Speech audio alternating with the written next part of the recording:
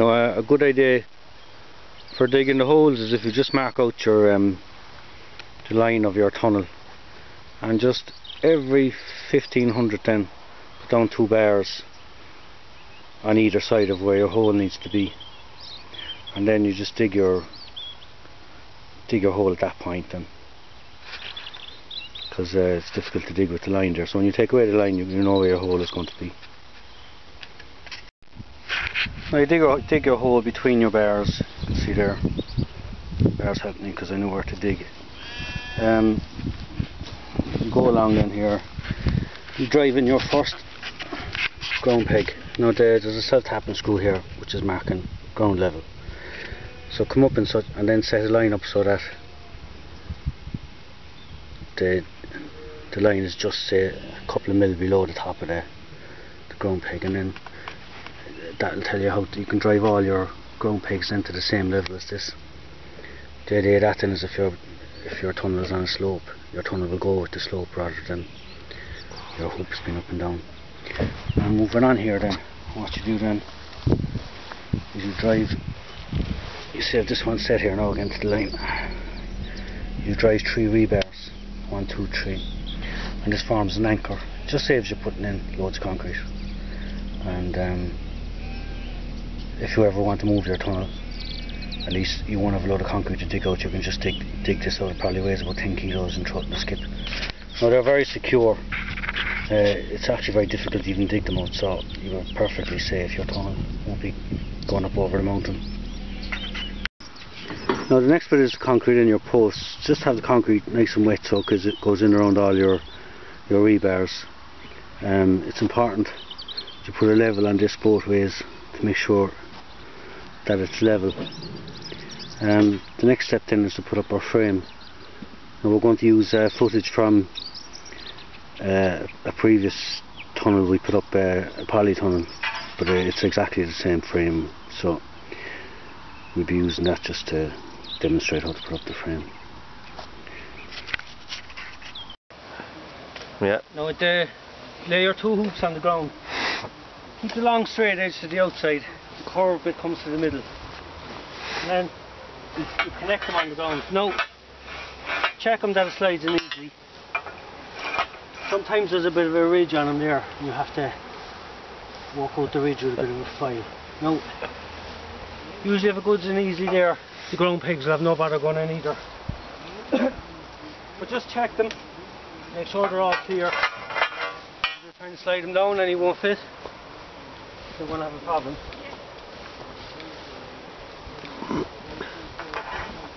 Now this one is fine. Now what we want to do is lift it up in the air in such a way that it's actually like this because when it comes in together and locks in together it's very hard to twist this out afterwards, you know, so it's okay to twist it a little bit if we can get it fairly right. Slide it into one, slide it into the other, and then set him at the right angle about here. The, the bar for the ridges, as we take the ridges, is underneath, like this, you see. Now, we'll just lift this into place there. Okay. Now, we might go up to the second last one there, Jimmy.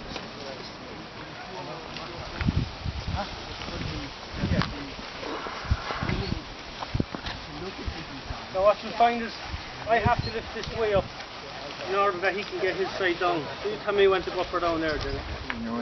Yeah, okay. Yeah, my friend, I, I, I reckon he's a, a retired man. Yeah, and then Yeah. find out the force this in, quite a lot of pressure. Yeah, but I mean, you know, going to have to this up, straight. And then Wait to see how much- you straighten this one in a minute as we go along. But try and get him as close as you can that you don't have to be pulling him too much, you know.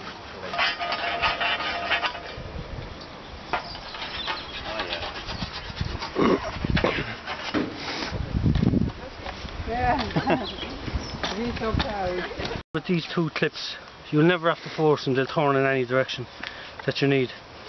And what you do is, you push them onto the hoop, straighten them out. No, these it doesn't go in here like this, it goes outside and outside like this. Now this is exactly the right size. so your, your tube won't fit into it. So you just open them out about 2 mil, just a touch, and then this is a spacing nut here. It's to stop people over tightening. Just put him through. Turn your nut. Leave him loose like that. He's, he's got his earphones. Now the the thing you have to consider is that when you tighten this there's going to be a, long bit sticking out here. Keep him on the inside of the tunnel all the time. So you have to consider which way your thing is going to be. Now we're going to have a bar coming from here now and he's going to slide into here. She's going to tighten up that'll on the inside. Now I I have another bar above this going up to a higher level so I put another one on exactly the same as this and I'll have him on loose. Hmm. And then I have another one then for my crop support bar which is going up there. So I just put him on and it doesn't matter which way I do him because he'll be facing in the way anyway. So put on all your clips before you do anything because it's very hard to put the clip and the bear at the same time if you There? Yeah, she's brought it up. Yeah. But let's put a level on it there now. I need to go this way down there. You have to go this way, so slide the hook in my direction. Over your way. A little bit more now. Wonder. Back to you a little bit. Come out. No, it's down.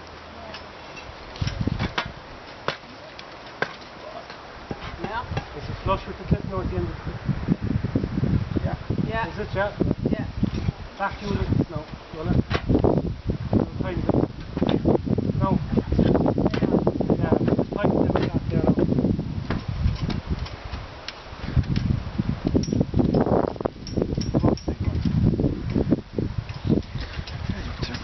Normally put on this, on this, on this like that. And then turn it over. This is probably why you should start that with. Yeah. That's how you use I just repeat the process then for each one, you know?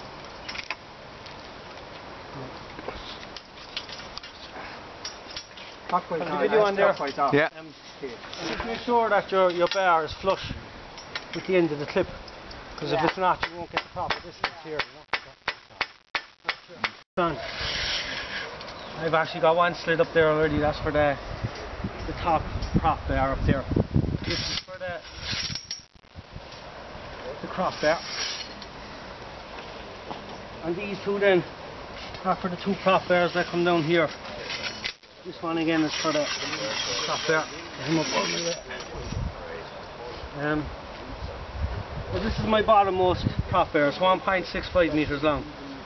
So you go into the bottommost clip. This one, and she just slide in there. And she slide into the bottommost one here. This, so. You can even push up against that. So what I'm going to do is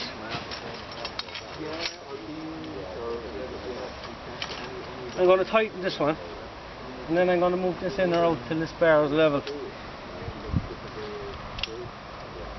She's fairly good there now. And then I'm going to tighten this one. And very important to keep these down very low, six inches or less, keep them right down at the bottom of the bar. If they're up here then the wind will be able to get leverage on the bar and push it. Keep them right down at the bottom. It's going to be very important to keep these bits on the inside, pointy bits. If you have a wrong, take them off and change it again. Now you have to tighten this one out, make sure this is level, so.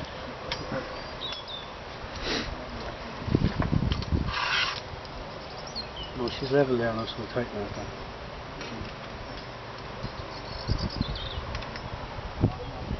So this one is your, is your 2.5 metre. And just lift him up. Slide him in. You just slide him up till he meets.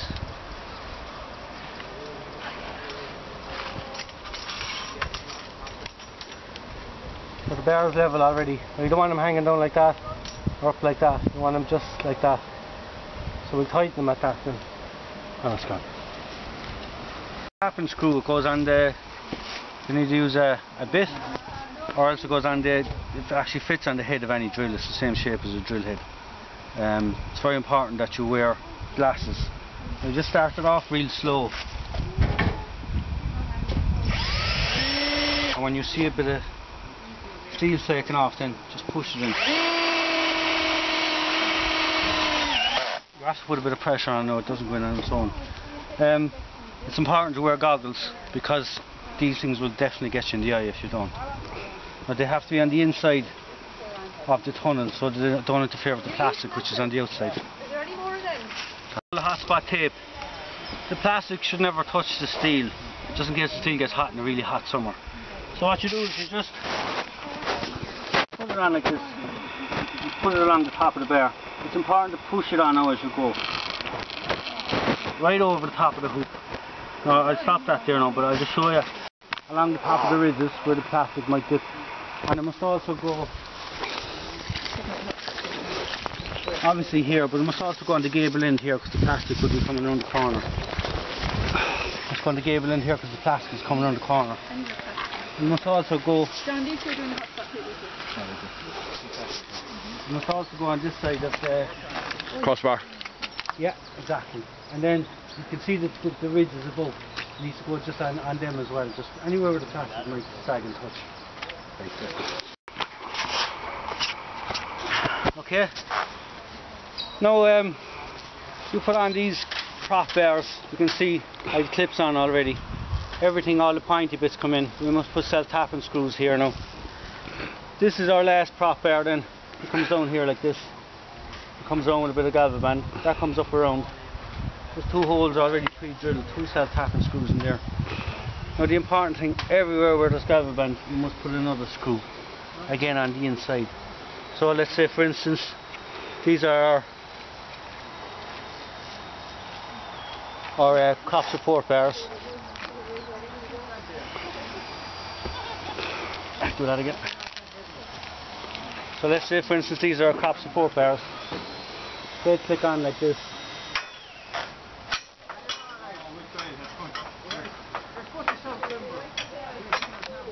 Let's say for instance these are crop support bars.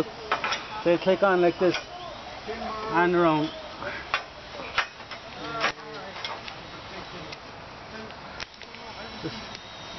The galva band will come down like this with two screws there, one there, the holes are already made, same here, there and there. Screws are already made. You'll also need a self-tapping screw in here, another self-tapping screw in here. Um, the crop support bar will be on one side of the ridge here. When you come up here then, you put it on the other side here. And when you go up to the next one, you put it on the other side and alternators go along. Now the other thing that you can see here is there was one point where we couldn't get the ridge bar in. It was just, the thing wasn't working out that it was just pulling out a little bit. But uh, the problem is if it moves after, the plastic will come loose. So we just put a self-tapping screw in there to hold her. Do you see here, Pierre? At this point here, we didn't get the ridge bar in completely. So what we did then is uh, we put in a self-tapping screw just so that she wouldn't move afterwards and the plastic wouldn't loosen. That's great.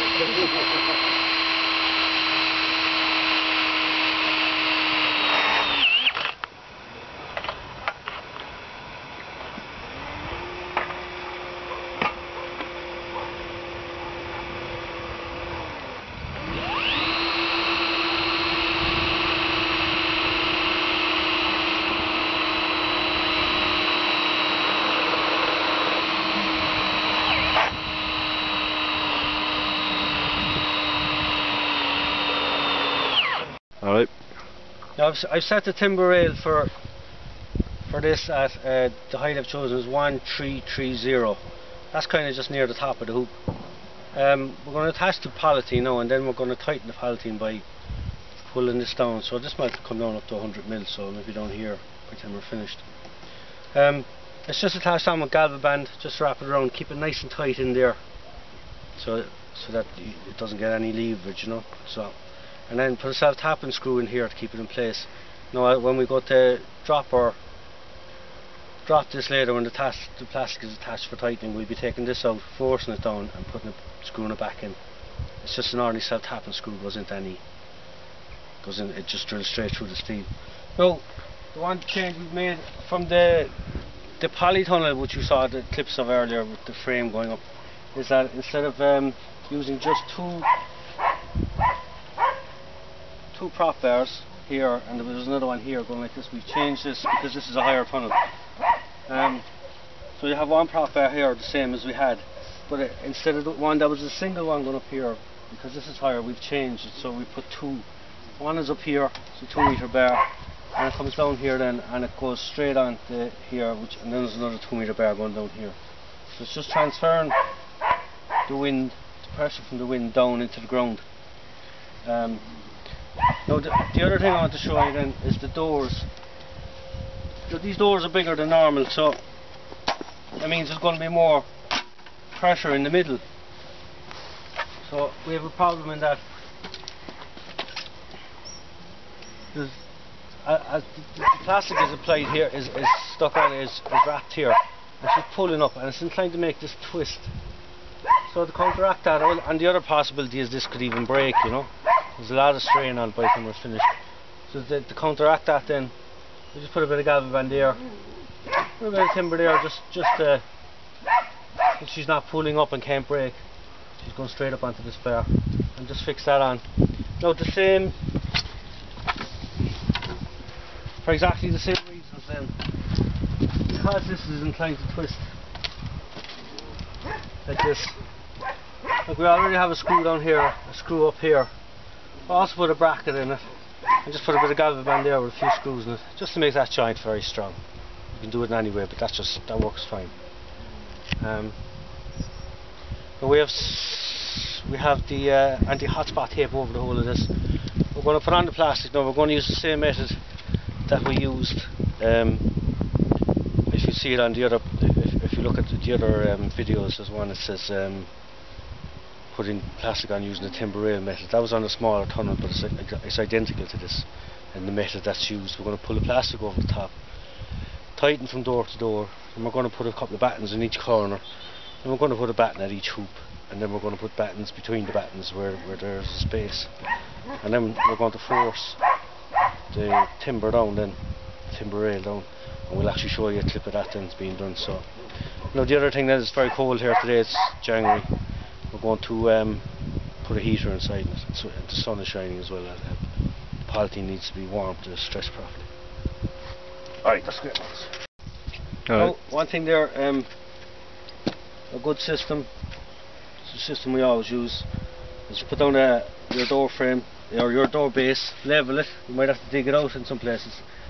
Now remember if you dig it out, uh, if you're on a slope and you dig out, and you end up going in there,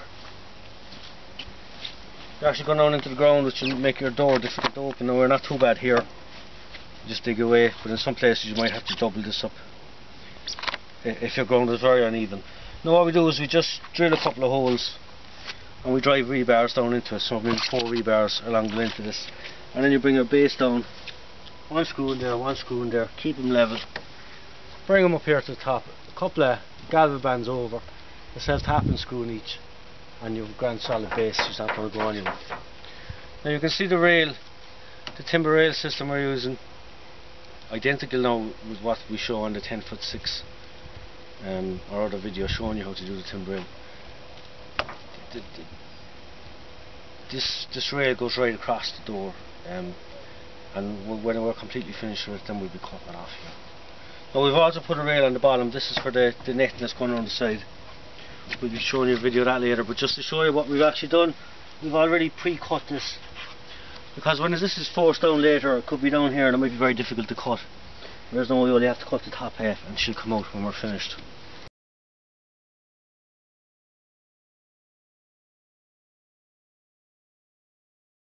You can see here now we're after tightening along the door. We used three battens. Probably might have been better with five, but we got it fairly tight. And then what you do then is you come around here. Along there, just put a bit of pressure on this. you that, you just want to take out the the wrinkles between the first and second hoop. So if someone pulling on here, and then you put on this back, and then you do the four corners like that, and then you come down to the middle, and you go, you do batten at each hoop, do one side, then do the other side. And when you're wrapping these, you don't need to wrap them really tight. Maybe come up about three quarters of an inch and just pull them down. It's on nice and snug. We're going to tighten it next now. We're going to loosen this and, and stand here. I'll give you a shot of that in a minute. But uh, the next thing we're going to do is just put the battens between the battens. Now when you roll these, you don't want to roll them so that it's pulling down. You don't want to roll it so it's loose. You just want to keep rolling them so it's exactly the same tension.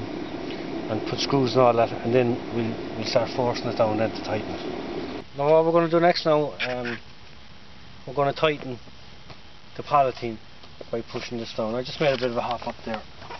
So I've loosened the inside now, so what I'm going to do, I'll stand up, my maid inside in will drive a self-tapper in through the galva band. You can see she's loose.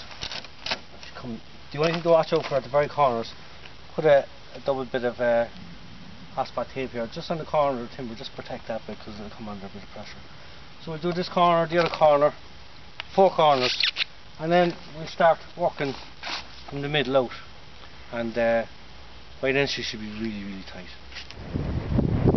Now at the door we've um, we've wrapped the polythene here, you can see it, and battened it on. And then what we've done then is um,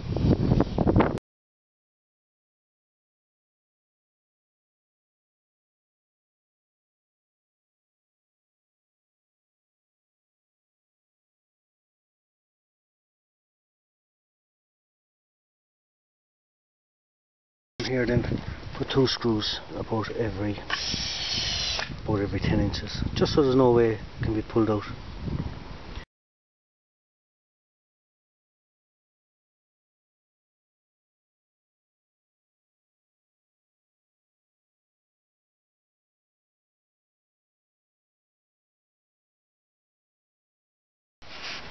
Now what we've got here um, we've got two 5 foot doors so it's 10 foot wide and all and uh, it's 8 foot high. So there's plenty to get a, a trailer or a jeep into